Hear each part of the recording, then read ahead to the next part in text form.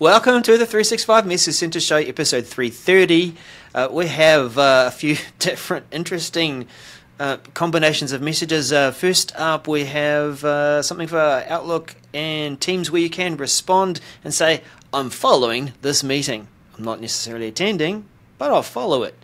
Um, we have uh, slashes coming to Teams Teams Compose message box. Uh, so we're seeing slashes in other places. What does it mean for Teams?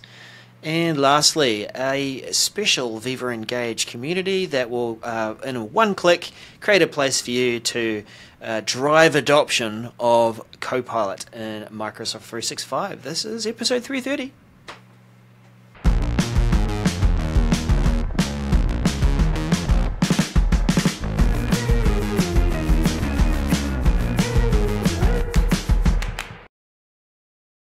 Doodly doo doo doodly doo. I love it. doo. I love it, and I love the you know I was like slash. We're gonna slash. Um. The hello everyone. Hi. Welcome. That slash We- actually is, is just a little too close to a dab, which is like so. Oh no Like, no no no! I was not dabbing. Let's, let's make No. sure. No, I will never hear the end of that. Um, thank you everyone for being here. This is a special episode because you're here, and we feel Oh. honored that you're watching and listening on the Yeah. audio podcast as well. We're we're very honored, and you know what? We'd be even more honored if you just share this episode out with your friends and family and your coworkers. Um, you know, just copy the URL or send them to 365mcs.com. Can do that on all the socials via email. I'm I'm a, I'm a firm believer in email, so you can use email still. You believe in it, uh, do you? I do. It's a thing. And It's a thing. if you don't well, if you don't believe in it, it still is there.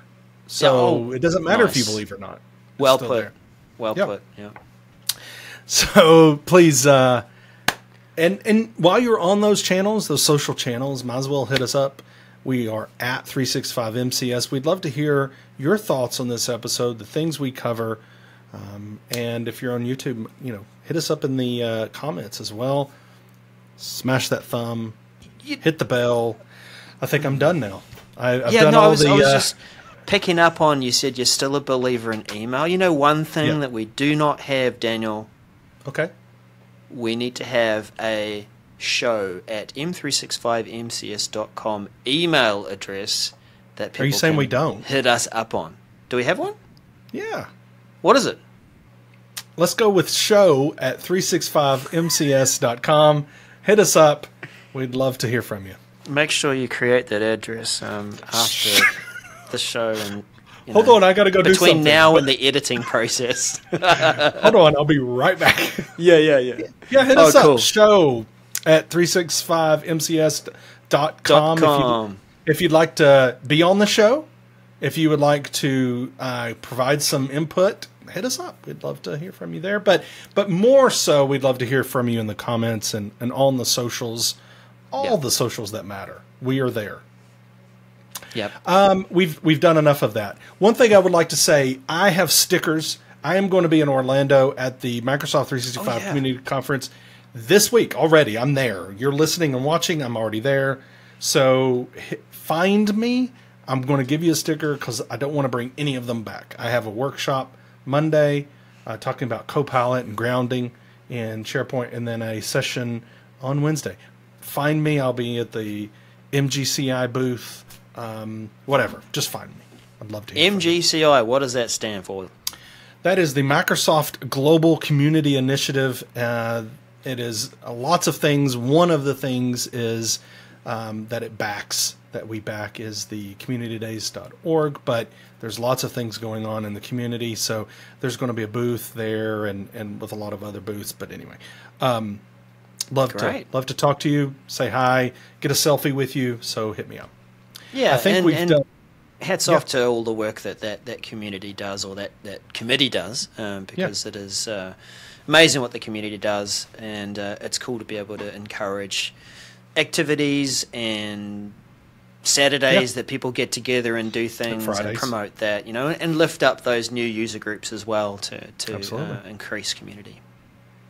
Absolutely. Um, you know what would also increase community? Having time not being in meetings. That would also help. Well, yeah. You have time for community. So uh, let's jump into it and talk about how we can do that. Is that okay with you? Okay. Sure, sure. How do we So- get out of our meetings? Our fr- well, let's not frame it exactly. Oh, oh, like right, that, right, but- right, right. Uh, first message Microsoft Outlook and Microsoft Teams respond to meetings with follow. I put it in quotes when I, but follow. MC786325. So in the new Outlook, okay, so when we're talking about this, we're talking about new Outlook. Mm. You're going to be able to respond instead of saying, yes, I'll attend or no, I'm not going to attend. You're also going to have an option to say follow. And what that is saying is, I'm not declining this because I still want to be involved and mm. updated about this meeting's topic. However, I ain't showing up. So, I mean, it's just Check your you know, attitude, mate. Come on. I ain't showing up, boys. So, um, so you click on uh, follow, and it tells the organizer, "Hey, this person," and it's telling the organizer if they have new Outlook that this person is following. They're not going to attend, and this also means that when the organizer comes into the meeting, they're going to get a reminder from Teams that people are following this, meaning they're not here, maybe you want to hit record. It's going to be a prompt. I think that's actually really cool. Um, it it also when the organizer is looking at the meeting information, they can highlight over the- you know an information dot on people saying that it's following. Um, when they get your response that you're following, it's going to say, "Hey, maybe consider recording." This uh, meeting because as a follower, hey, as a follower, I am going to get access to, still have access to the meeting. Uh, and I think what that means is, and there's some guessing we're having to do a little bit on some of this, but is that if I actually wanted to attend, I could still attend. If things happened, maybe I could still attend because it's going to show up in my calendar as free, but it's still going to be there. But I also have access to chat, um, which is interesting, which brings us other questions about what does that mean? And because if we decline now, then we don't get that. But if we do tentative, do we have access to chat? Uh, if we don't join the chat, anyway. So there's some still some questions, and maybe we'll talk about that in a second. But for this, um, I think it will definitely help those people who are into too many meetings, have been invited to too many meetings, instead of saying, "Okay, tentative," but I'm actually never going to show up. And so the organizer's like, "Okay, they they said tentative. Are they going to show up?" And they ping you, "Hey, are you going to come to the meeting?" No it tells them I'm not coming, but I'm still interested. So I think that's great. Uh, I'm going to ask you, Darrell. I'm going to prep you with this about you know Okay. whether you like this or not, what you think about the differences between this and tentative and everything. But I want to mention to people if you are using old Outlook, so classic Outlook, you are not going to see this option to follow. And then if the organizer is using the classic version, then they're not going to see that you followed either. They're actually going to see you as tentative, which Well, they they get a um, an email body that says this person followed, yeah, but the But if they go uh, to the RSVP tracking response, Yeah, the tracking of responses, it's going to show tentative. Um, so, Darrell, do you like this? What are your thoughts on the whole comparing it to tentative? You know, all of that. What What are your thoughts? Uh, well, first of all, uh, I would like to take this as an opportunity, a, a PA, you know, public announcement or public, uh, you know, to, to encourage people. RSVP to meetings. Don't just leave them there as non-responsive. Um, it helps the meeting planner. It helps the people who plan to present and all that sort of stuff. Uh, so with this follow feature, love it. All right, I actually think that it is better than better than saying it's tentative because you actually have a clearer intention. I'm saying I, I can't attend this, uh, but I, I, am so I'm still definitely interested in the content. I still want to be a um, asynchronous participant in this meeting. How about that? Yeah, so we can still yeah, participate in the chat afterwards. I can catch up with the recording, which you can chat. anyway. Mm-hmm, but mm-hmm. but it's really it's really I think around the chat now.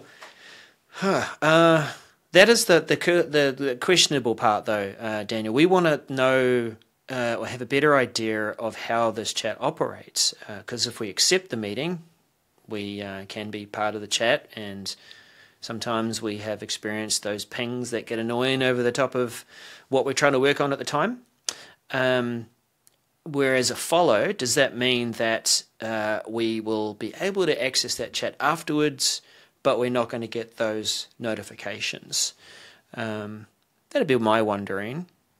Um, and then with tentative, you know, that tentative status where classic um, classic organizers see as uh, tentative, um, that you're tentatively accepting the meeting. But when you when you choose follow, apparently one of the benefits is that you're it'll still appear in your calendar, but it'll show as free. So you'll see a block, and that's a nice reminder that, oh, there was a meeting on, that's right, and I can go back and I can look at the recap. But it still allows people to book my time. Now, for a classic viewer, when it, when they see tentative, are they going to see tentative as in I'm tentatively accepted the meeting, and that shows as tentative in my calendar as availability? Or am I going to show as free? Daniel, I right. want you to answer this. You want me to answer? I am going to guess that they see you as free, but we don't know. I, yeah, don't know. Um, but that would be my guess. Um, mm-hmm. The which would make sense, and it actually would follow along. It would be nice if the only thing it that was tentative about this is the organizer using classic looking at their tracking sees hmm. tentative mm. but if they go to your calendar it shows free or anyone else that would be great just yeah you know um, I hope it's not mixed. So I've got another comment to make about this too. When I first heard about this feature, no, nope. hey, hey, hey, hey! I'm just joking. You, you just click follow. I'll continue, and you can catch up with what I'm going to say later. Um, but when it first talked about, I think it was talked about alongside a co-pilot feature and the ability to say, "I'm going to follow this meeting." I can even ask Copilot about what's going on and what are the key to points, attend. but I'm not actually attending. Yeah, so yeah. it's nice that we're seeing this, and we can actually got a clear picture that this follow capability is not just for those with the AI capabilities, Copilot or, or Teams Premium, but doesn't matter what level you're at, you can still follow to a capacity yeah. based on what your licenses enable you to do. Absolutely, and and that's you you brought brought that up. I, I think it's a great point of, um, and will be a great functionality. I think people will see is well if you have Teams Premium, then maybe when you click follow, after the meeting, it, it sends. Now I'm just making all this up. Okay, I, I don't know, but it sends you the recap. That would be amazing. Like instead of having to go to the recap and see what happened, send me an email because I followed it. Send me an hmm. email with the recap. Oh, that would be great. Yeah, yeah. Microsoft, I hope you're listening. Um, Always great. Listening. So, yeah. Well, we know so, they listen, Daniel, because yes. sometimes they send screenshots and say, is this going to be something I should watch? Right. uh, um, that's an inside thing, people. Sorry. Targeted release rolling out late April, completed by late May, and then general availability early June, completed by early July 2024. So definitely looking forward to that. You know what I'm also looking forward to, Darrell? I want to get rid of Microsoft Teams parentheses work or school. Can I just get rid of it, please? Well, uh, the name, or that you just don't want to use Teams at your work or school place? This is my lead in to the to the next. all right, all right, right, right, right, right. All right. Microsoft Teams, open brackets. Work or school, close brackets. Um, application on Windows will be renamed to Microsoft Teams. This is MC seven eight six three two four. It, it it's not big news, but it kind of is. I mean, it's Don't we already thing. have a Microsoft Teams? I'm, uh, wait, Yes, yes, we do. But but on Windows, we've had to we've had to call it out as being one for work and school, and one that is for personal, but but it was just called Teams. And this really did cause uh, some confusion uh, for those of us adopting Windows 11 early on. Teams Personal was built into Windows 11. It popped up. It did all sorts of things. And change managers spent a lot of time, or, you know, organizations spent a lot of time saying, don't click that one. Click the one that is uh, work and school, okay? It's nice and clear, but don't click the one that just says Teams, even though it looks a little different. They said it in that accent too, by the way. I was about to say, was that like a Scottish slash German or something? Um, No, I'm don't even going to try and pretend to say which dialect or part of Okay. part of the UK it's there because I'll get it wrong, and and Yeah. we'll get a lot of people writing to um, show at 365mcs.com. All right, but continuing on because this is supposed to be a short message, Daniel. Stop interrupting me. Uh, is that it's going to be renamed to how it should be, right? Microsoft Teams, the one that we more frequently use for work or school, is going to be called Microsoft Teams.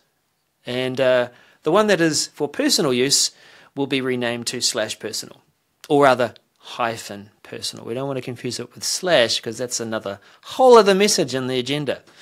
Um, and this is going to uh, this is going to happen rolling out um, early May and uh, targeted release and complete mid May and general availability. What? Why are we calling this general availability? It's just a rename. Oh my goodness. Excuse me. Um, Wow, I'm making gonna you cough and everything. Oh, totally. I'm like, I just realized that. Why the fanfare? Um, mid mid May 2024, expected to be complete early June 2024. I'm getting cynical. Sorry, it's just Wow. You know, it's like having this this. up yeah, but no, you know, sometimes we see messages where it says we're really excited to announce this thing that we're removing. Like what? Anyway, um, good move. Well done. Thank you. Glad to have the message. Moving on, uh, thinking of segue processing, going to Copilot, asking for segue Oh, to try no. and map this message through to what Daniel is going to talk about, which is something to do with Power BI. Wow, that was really, really lazy. That was. There's some changes in Power BI, and they're going to happen at a tenant level. Oh my gosh. Is that cleverer? Wow. Okay. Upcoming changes to tenant settings for See? Power BI. Copilot features. MC785-029.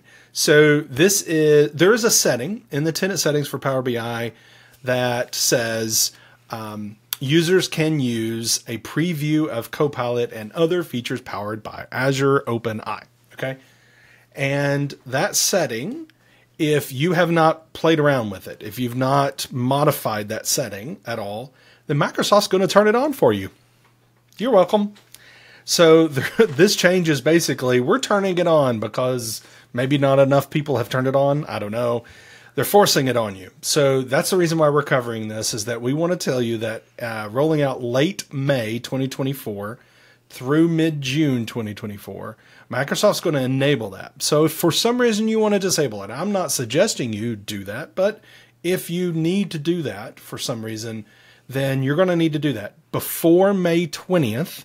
It gives you instructions. Basically, you can go and enable the feature, turn it off, you know, uh, basically enable it, save it, turn it off, save it again, and then they won't force it on you. Um, I don't like when Microsoft does stuff like this, to be honest, um, but I get it. Uh, so just make sure that you go in and do that. See, quick message, but make sure you, you hit the if make a decision. If you made a decision that hey, we're not enabling that, well, now you're going to have to go and enable it and then turn it off. Um, or Microsoft's going to force it on you. So Wow, that that's how you do a quick message. yeah. So let's see if you can uh, practice. Well, no, not on this. Not this one. you were talking about slashes earlier. Tell me about slashes in Teams. Yeah. So uh, f- yes, no. I just I'm restraining the cheekiness because Australians and New Zealanders know. Um, Okay. But yeah, Microsoft Teams introducing slash commands in the Compose box. Hmm. MC785024. Hmm. Daniel, we've had slash commands. Where have we hmm. seen those before? In Teams. in the know in the search box. Yeah, yeah, that's right. That's right. So we're going Oh, this was a some of- test. Did I get a Yeah. You got you got hundred percent. You uh, you know like when teachers do that thing like I'm looking for an answer, looking for an answer. No, that's not what was in my head. Let's try again, but good answer. You know, um, you just did that. Slash commands. Uh, uh, uh, well, as we read through them, um, there's a few that are going to be available in the Teams Compose box where we write our messages. And as uh, this message goes, we have a, a lovely animated GIF. So I think I think Microsoft does listen to our show, Daniel, because we, we asked we asked for a few more animated GIFs. So good to see that. Right. Um, I, I, look, I've got to talk personally here at, at this point. I have got used to using forward slash because I, I like using loop and I use other applications that use a forward slash too to access a menu where I am in the moment to do something for me. And I don't have to necessarily memorize what that thing is because often these things have tooltips like this one does too. So I quite like this that in what appears to be a chat experience, I can quickly change my status. I can um, hide the chat. I can do things with it. I can pop it out into its own separate window. Um, but there are a couple of other things it can do, Daniel, which um, I think are quite cool too. What what else might we add to a chat? We've got a couple of options here that are listed. Uh, OneNote. No, wait. Forward slash OneNote. Ooh, is that a feature request already? yes. Um, you know, and we see examples here. We can add loops. Um, we can um, add See, this is apps. the teacher thing again, right? Like that's the thing Yes. I had in mind. That's the thing you were wanting. I know. Yeah, keep going. Uh, we can add apps, which I think is kind of cool uh, Yeah. to be able to add in. Add code if that's your thing. So we can add uh, several things. Yeah, code Many block. things. Uh, Mm-hmm. Even uh, one there that's forward slash record a video clip. Mm. One that isn't there, and I have noticed this hmm. too. I think this is the case. No, this isn't the case. I get my forward slashes mixed up and which applications hmm. I'm thinking of. And this is the thing. I think hmm. um, these have been added into Teams as a convenience, and they've been brought down to the place where we're typing rather than the search box at the top for convenience.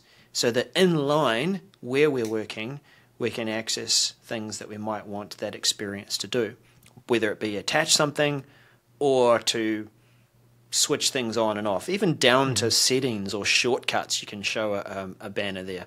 Now we're basing all of this on a render in a animated GIF, right? So it, it could be that these aren't going to be the final choices, but I like them. But Daniel, do you think they'll catch on for?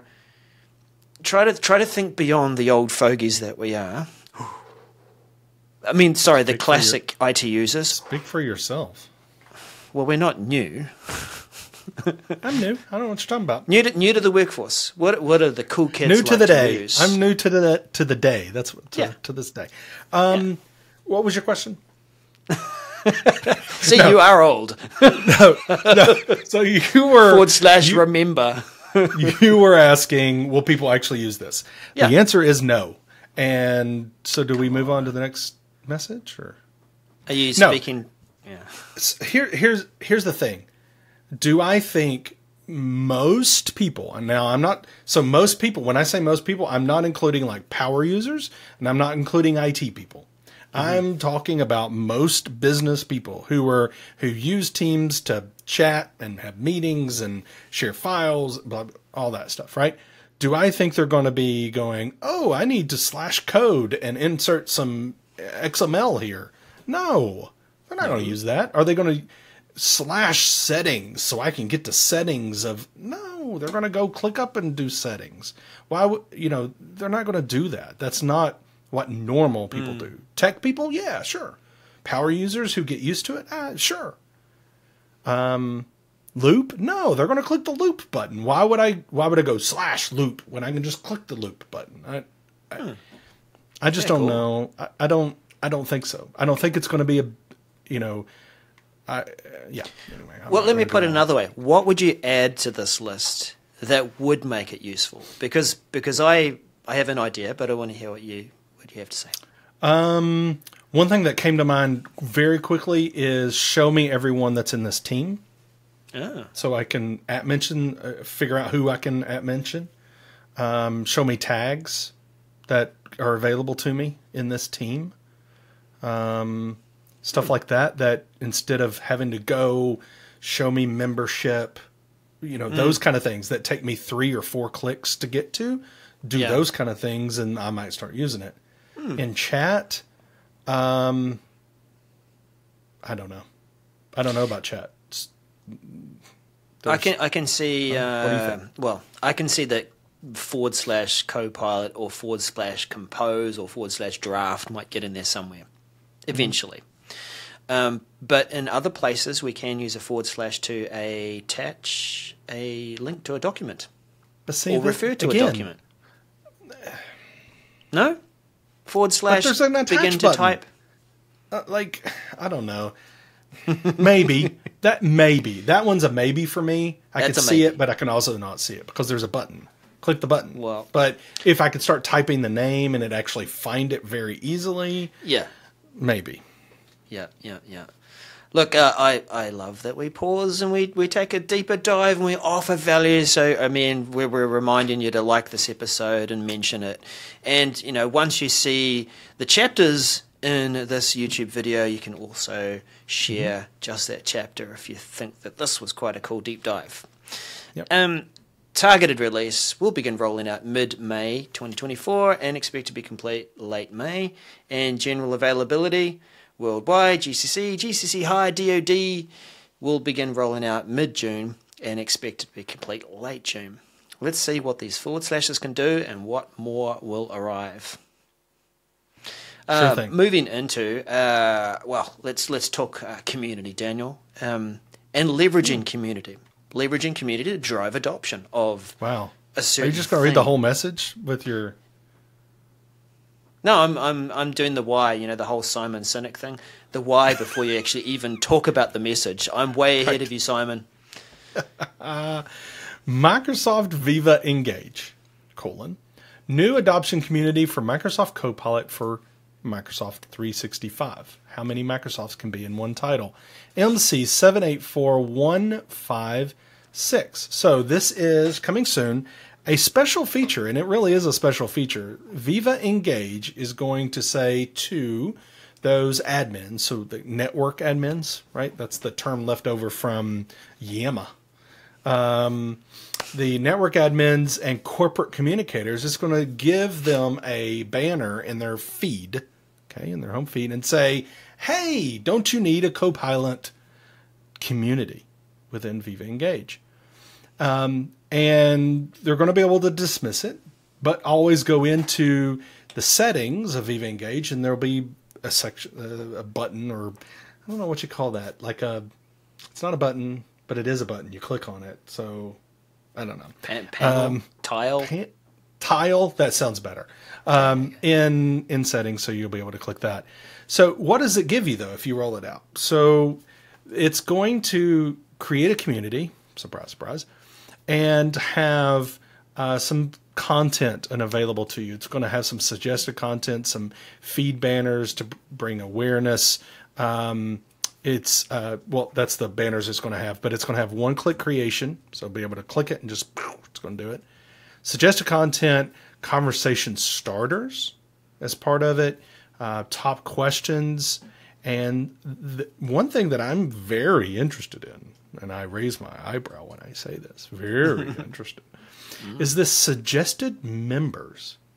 So we see more about that in one of the screenshots that you can see at the top right. It shows um, a basically the functionality that in the community uh, where it shows members underneath it it's going to say expand your copilot community. And it says and at least that's what's in this rendering add other users with copilot licenses to this community. And then it says add all. It's a link there. You can click add all hmm. well, i think that's interesting functionality because what if i'm an an admin i've created this community but i'm not an admin of anything else just of viva engage so i don't have access to who who has licenses to copilot Okay. So is it going to show for me that I can click everyone? So now I've I've basically invited everyone to this community that has a license, mm-hmm. And now I know how many licenses are in my environment, and I know who have them now because I've invited them. Yet I couldn't actually see that you know anywhere else. It's just very interesting functionality. But the other interesting part of that is, um, hey Microsoft, let's do this for other products. Yay. I mean, uh, make it easy to create a community around other products like, I don't know, I'm just pulling stuff out of my hat, Glint or Power BI or, um, you know, any other Power Platform, uh, you know, any other that uh, services Amplify. that have their amplify anybody well corporate communications you know those yeah. that uh, you know any of the things that you have to have special you know you have a, a separate license for or whatever make it easy to create a community based around that and invite everybody that has that. That would be amazing. I think that'd be interesting. I agree.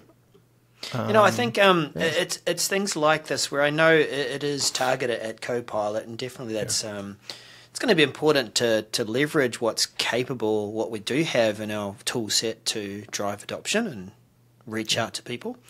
Um, but with the investment being put into it for Copilot, other products surely could benefit from this too. It'd be nice. It really would be. Hmm. So, uh, rolling out to a Viva Engage environment near you. General availability worldwide. Late May 2024 through early June 2024. So I, I'm I'm kind of excited about that to bring awareness, drive adoption, help people with you know I um, I'm I'm going to give you a little teaser as to the workshop I'm doing uh, next uh, during the the conference, um, using this to bring out suggested uh, prompts, help people create prompts. Um, I mean, there's there's a lot of things you could do with this this type of community. So uh, I think it's pretty interesting. Hmm. And Darrell, I Damn. sent you a PDF, and I need you to sign it. So if you could go ahead and do that, uh, and then annotate it with some text boxes uh, with your thoughts yeah. and feelings, that'd yeah. be great. Yeah, no, I will need to annotate it because um, this document you've sent to me, uh, I'm going to have some feedback. I'm going to have some feedback before I sign anything. Our transitions this episode are very, very interesting. I'm just going to say, oh, yeah. Hey, and if you've got feedback, send us an email to show at 365mcs.com. Yes, it works. Go ahead and send it. It does. It does. We've used it three times now. Microsoft OneDrive, colon. Pause for effect. Annotate PDFs with text boxes. This is MC783215. Oh, oh. All right. Um, when you open up PDF from OneDrive, we have a lovely PDF reader that doesn't just show you the PDF in a way to scroll through it, but it also lets you um, edit it and annotate with ink and with highlighters. Um, but what has been missing up until this point is a text box. So that's what this message is about. Add a text box to annotate on a PDF from OneDrive. Really useful. Uh, I actually would like to also see maybe comment bubbles. That could be good too. Um, but yeah, Daniel raises a point though like how often do we open a PDF from the OneDrive app? So, I mean, we're opening it. We often yeah. use it, and it sort of opens up an edge for you. Is that right, Daniel? Yeah, I have PDFs. They open up an Edge for me, which is amazing because Edge has this functionality to be able to highlight, write. Um, I, I will caution people to, and I did not know this. So our listeners are getting some uh, interesting information here that I did not know. When you do that, when you open up a PDF in Edge and write on it, and I don't know about uh, OneDrive because I have not tested it, it actually doesn't flatten it. Meaning, Oh. anyone who opens that PDF in Edge can get the eraser and erase whatever you've written. Okay? So, caution. Um, you know, when you're doing that test. So, what I have found is if you flatten it, I, I can use another app, a PDF editor app that I've had for a while. You save it, and but you flatten the annotations, then it actually becomes part of the PDF. Just test it, people. Don't rely on covering inf- sensitive information up and then sending it. Right. Test it. Make sure it actually flattens it before uh, it gets sent to other people. I've got So- a question for you. Yeah. When when you're opening that PDF in Edge, uh, is it that it's downloading the file and letting you edit the file and then save it, or is it putting it in some kind of collaborative space in Edge where you can annotate and play around with the annotations? It lets you save. Oh, okay. I mean, there's a save button, so you annotate and you click save, and it saves it to that original document Hmm. when you close it. And then in my testing, I've reopened that file and I'm able to erase things. And not just in Edge, I'm able to open that file in my PDF editor application and erase those annotations. Ah, I see. So- yeah, yeah. just be careful, people. Um, but I'm excited about this because if you're in OneDrive in the browser and you click on a PDF, it open like you said, it opens it up in that viewer. So even if you're in Edge, it doesn't allow you to use Edge's tools. Um, I often am looking for files in Windows Explorer, you know, in from Outlook, right, and and able to just open it up and it opens an Edge. So um, it's nice to be able to have that functionality if you open it up in the browser uh, from in in OneDrive in the browser. Yeah. Yep, yep. Yeah, so with this uh, step five, it does talk about when you're finished, you can save those changes and it exit the edit mode and saves it to the PDF. So that's good. Right, when is this arriving? It's generally available uh, mid May and expected to be complete by early June. And you know something else is that complete, Daniel? This episode. Ah, good job. We we've made it, uh, and we haven't collapsed on ourselves. It's great. Thank you, everyone, for being here to watch the potential collapse, but not of the show. of the event horizon. yeah, that's right. Make sure you leave us a comment. Please share the episode out. We greatly appreciate it. We see you. We really do appreciate you. Um, we would like to hear from you as well. Thank you so much uh, for being here.